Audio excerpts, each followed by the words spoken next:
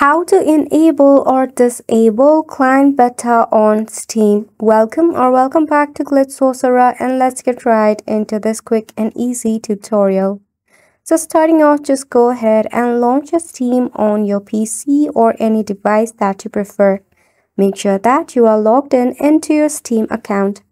To enable it, all you have to do is just go ahead and tap on the Steam icon, then head on to the settings option. Select the interface option. Now here you will see client beta participation. You have to select the client beta update or client families beta. Then just restart your Steam so that you can get access to your to get access to your Steam beta. Now to disable it, all you have to do is go to your client beta participation and select no beta chosen. By this way, you'll be able to easily enable and disable your client beta participation.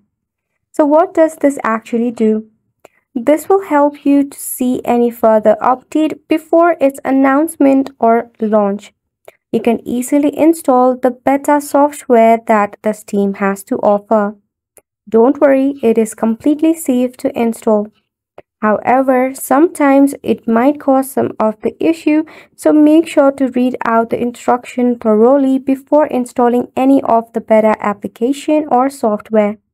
And that wraps up this tutorial as well. Thank you so much for tuning in.